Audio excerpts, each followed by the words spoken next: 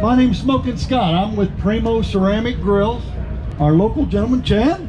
Welcome. Thank you, thank you. You're now you're from Kansas City. You're I'm here. a Kansas City native, yes. Uh, a couple restaurants around town over the last few years. So, what we're doing today is this is a little fresh ham.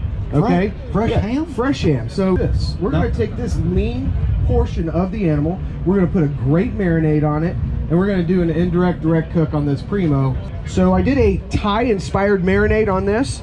Uh, these are little pork skewers, so super lean. We want to have some some uh, great aromatics where you've got ginger, lemongrass, galanga root, kaffir lime, red curry. What I've done was marinated this for about four or five hours, and we're doing, like I said, a direct indirect. So uh, we move from that side over. Just and off, now- okay. Now we have the fresh portion we're going to go throw right on here, and this is going to also keep it from drying out. We want to get a nice sear on it, but we want the inside of it to be nice and well done as well.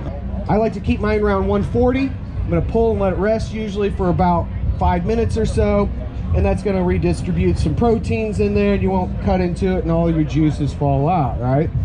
And now we're going to serve it with a little bit of a Thai-inspired slaw that I've done. A touch of jalapeno, cilantro, white wine vinegar, a little bit of clover honey. This looks fantastic. So we got our, our pork with a little Thai spice flavors on it. We seared them all. And we're going to put a little slaw with it as well. Yeah, we want Okay. a nice little fresh slaw to go with that. Like I, it's fine. Absolutely. Step forward.